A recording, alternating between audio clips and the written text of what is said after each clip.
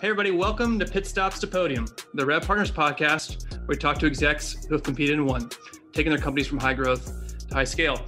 My name is Brendan Tolleson. I am the co founder and CEO of Rev Partners, and I'm delighted to have with me today Charlie Paparelli for this podcast episode. Welcome, Charlie. Great to be here, Brendan. Always good to be with you. Yeah, I love our time together. And Charlie, I was I was thinking about guys, we've known each other for over 10 years now. And I was trying to think about how to uh, give people a background on, on who you are. You've really done everything from building companies to investing in companies. And now you're in this kind of phase or season I think you call really giving back in terms of what you've learned and helping other entrepreneurs on their journey. But uh, how would you define what you do, Charlie? Well, what I'm doing now is I I've kind of moved. I'm I'm sort of transitioning out of a 25 plus year career in angel investing which was all about helping, I called it helping entrepreneurs achieve their dream of starting and owning their own company. And now I've, uh, I've taken a lot of that experience and that network, and I'm now helping entrepreneurs uh, do the same thing, not so much from the investment side, but by interviewing other entrepreneurs and getting their stories out of them so that people can learn from them and what they've learned. Yeah, you. Uh, we'll we'll get into some of the uh, calls to actions that people can take at the end. But I'm going to do a teaser here. But Charlie is uh, an incredible writer, and there's a, an amazing opportunity for other entrepreneurs to learn from him. And we'll get into that at the end of the episode. But uh, yeah, Paparelli.com. Just remember, there you go. Paparelli.com. There you go. The oracle has spoken. So, uh, Charlie, before we get into our, our, big idea, we have a tradition here at Pit Stops at Podium, and that's to understand our guest outside of a business context. And so, the way in which we do that uh, is really to understand three fun facts uh, about our guests. So, if you don't mind, indulge our audience about some of the hobbies or interests you have or passions you have out, outside of what you do on a daily basis. Yeah, my biggest uh, passion, which really started in college, is uh, I uh, ride motorcycles. And I like to ride motorcycles fast and I like twisties. Okay, so I do a lot of North Georgia riding, but I also went to the California Superbike School, which is something that a lot of people don't know about. So, you know, 150 miles an hour in straightaways with big turns. So, and there I was, 67 years old doing that. It was a lot of fun. You know, I did it. In fact, I've done it three times. Did it once with my son. That's what, one uh, fun. Well, what what what's uh, your your brand of bike? Right now, it's BMW um, uh, RT. Okay, which is a sport bike basically. It's a sport touring bike. It's a combination bike, so uh, I can go on longer rides without getting my back all messed up. but it uh, has a little wind protection for me, so it's really a nice bike. It's a lot of fun. Kathy goes with me too. We're planning, in fact, to go to dinner. I'll go for a lobster dinner later in July in Maine. Oh wow! So we're talking if it take two weeks, take some time going up to Maine on the motorcycle, and then come back down again. So that's something that we have planned. That must be a pretty good lobster. And Kathy, for the audience, is uh, Charlie's wife. So uh, for the context there. Years.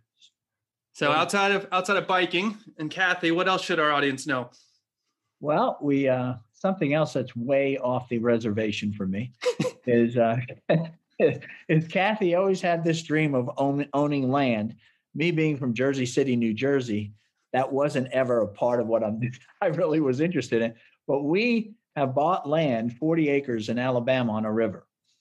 Oh, wow raw land. So I go out on this place and she just has a big vision for it. And I'm just trying to catch up to it. That's where we are right now. That's great. I did not know that. That's a good fact. Yeah. What, what, what's the third fact for our audience?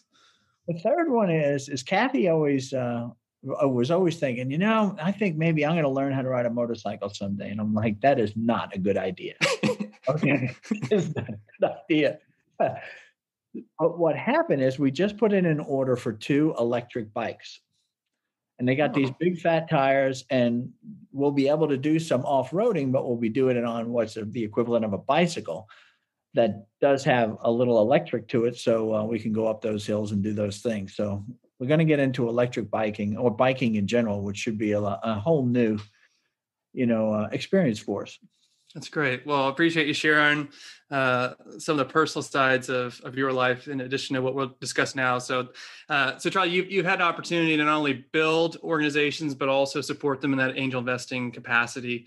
Uh, and so we talk about companies that are growing, going from that growth to scale, you know, building teams is, is certainly one core component of how you grow. Uh, and so I'd love to talk a little bit about those different stages uh, as it relates to team building. Um, but before we get into those three stages, I think it'd be helpful to, to tell the audience, in, in, your perspective, why team building is, is so important. And maybe intuitive, but I think it's, it's important to unpack and, and define that. Yeah.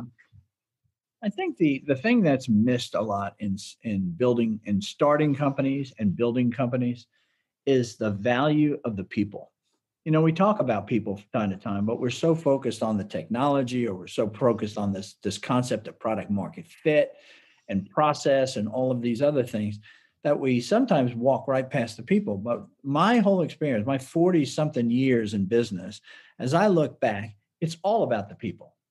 All the value is in the people. You know if you want to grow big you have to have the right people. If you want to grow big value a very valuable company it's going to come down to the people. And if you want to be an attractive acquisition candidate, it's all about the people because the people mitigate risk for the buyer. Hmm. So you just can't get past it. People are the secret to uh, to success in all that we do. I like that. To your point, it's often neglected and put on the back burner. And if you're in a software SaaS type model that the product is typically the star, but what you're describing is actually the people are what really inform the product and ultimately create the value around the product, um, which, is, which is great. Uh, so let's start. Let's dive into this a little bit. Let's talk about stage one, Charlie. And this is kind of that founding startup phase uh, of team building. And, and, so, what does a team look like? Uh, and what are the the key areas as it relates to what that the role of the team, the importance of the team at that phase? Yeah, I'll call that first. I was thinking about what are these stages? Okay. And this first stage of growth, I would put as the, I would to, to use the term uh, that we've all accepted now, is that product market fit stage, right? You come up with an idea and you're thinking, man, I think that this really solves a problem out, the, out in the marketplace. Here's the people that will probably buy it. So you got to figure that out. But that stage is really led by the founder and the mm. founders that I'm seeing more and more these days are not technical founders. These are people like yourself who have industry experience. Okay. Now it could be vertical market experience or it could be horizontal market experience, but they're experienced in some market and some type of type of product. And uh, so you start with a founder, and, and the founders out there flopping around with a PowerPoint slides, trying to figure out, okay, now that I got people interested, how do I build it? Well, they don't have any technology background. So the first thing that a founder has to do is find that co-founder. Mm-hmm. Now, I love in the Bible where it says, you know, it's two people, two are better than one, and three are even better. right? This is in the book of Ecclesiastes because if two are better than one, because if one falls down, the other can pick them up, you know? But the idea is that you can't be everything to everybody when you're building a company. You can be that guy that maybe is the CEO type who's a good strategy person, but you don't have any technical expertise. You got to find that co founder that has that. And that's hard to do. I see people getting stuck with that all the time because that co founder has to be lit up about the mission and the market and the problem as the founder. So it's not about can they program something? Can they build a product? No, it's got to be this fit, this hand in glove fit. How hard is that to find somebody? It's like saying, look, you got a couple of weeks, find a girl, get married, build a family. Right. You know, we get that. And we say, whoa, I don't want to get married till I'm like 30. I want to figure out who I am. I want to make sure I have a career. I want to, you know, I want to make sure I've got the, uh, I've, I've got a house that we can get, you know, if we get married, we can go to and all that and stuff. But, well, no, you don't have that option when you start a company. You start a company, it's like, man, I got to find somebody that's going to build this product. And then I, you got investors saying, yeah, you got to find them fast. And you go like, no, don't go fast. Go slow. No, go fast. You know, I mean, how do you do it?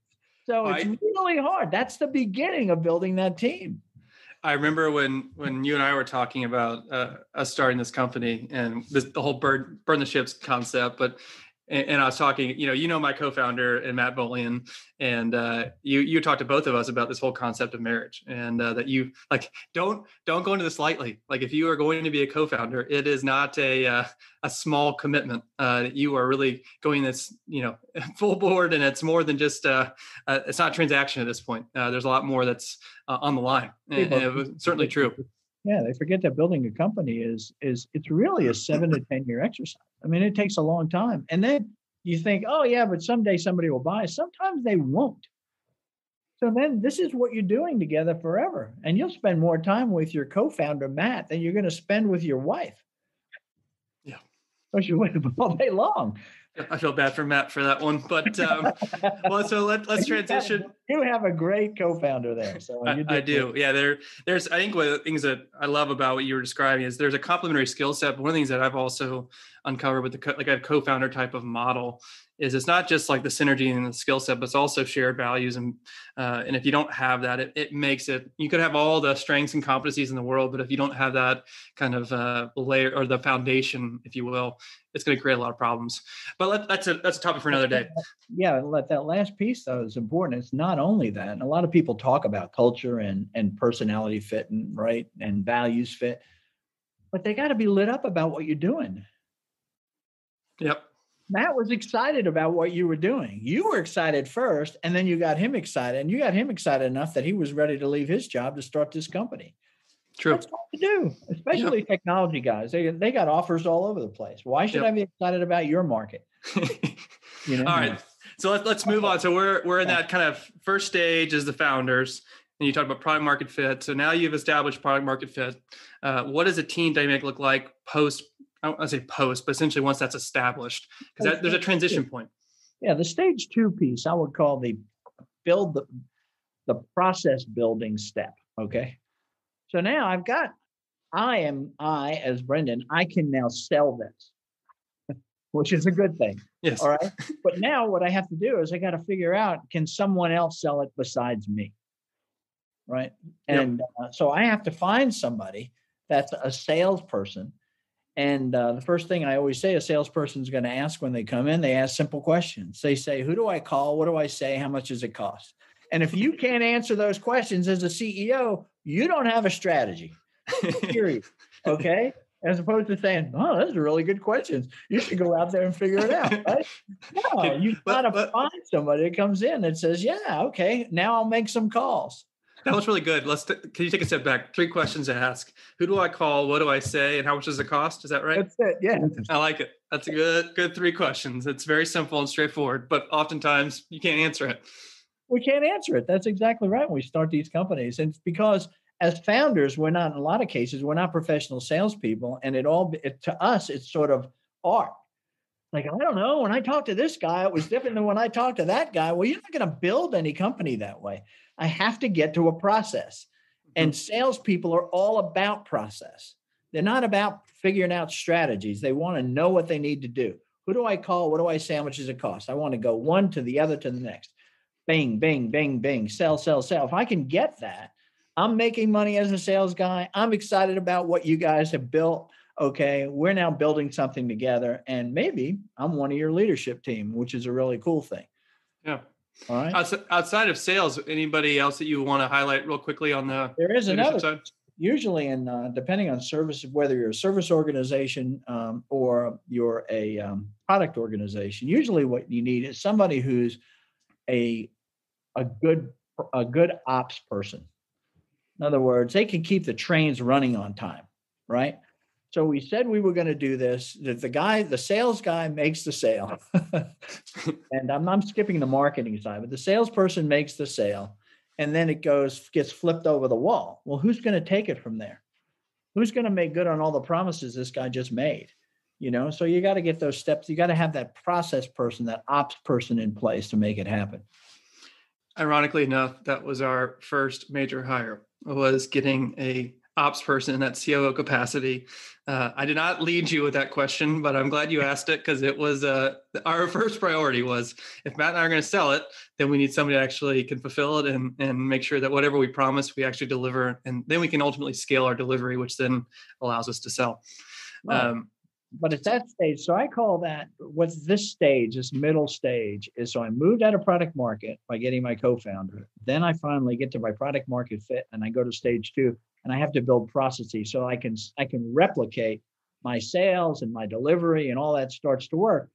But it's working with what I call at, at the same time, you're building what I'll call the leadership team. Hmm.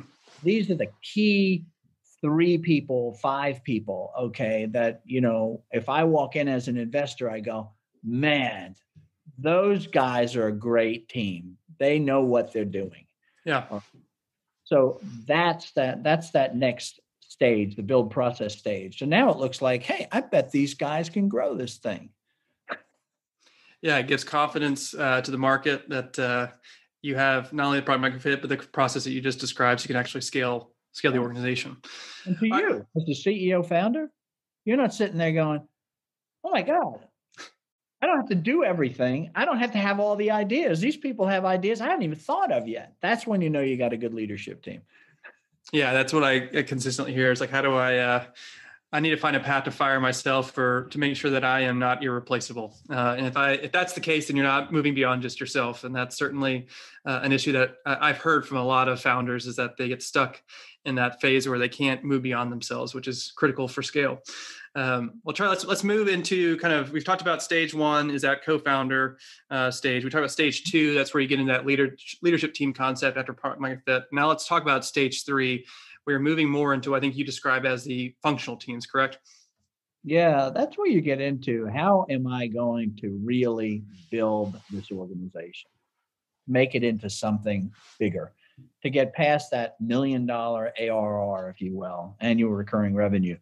And to do that, now this leadership team, this new leadership team that seems to be able to get to a million or two million dollar ARR, ARR, now they have to get to five to 10 to 20, right? To have that kind of growth. Well, to do that, they have to have this new skill. They have to become leaders and managers. Hmm. So now they have to hire people within their area of expertise. So if I am the salesperson, now all of a sudden I'm a sales manager and I have to hire salespeople and I have to train them and I have to manage them and I help to help to help develop them.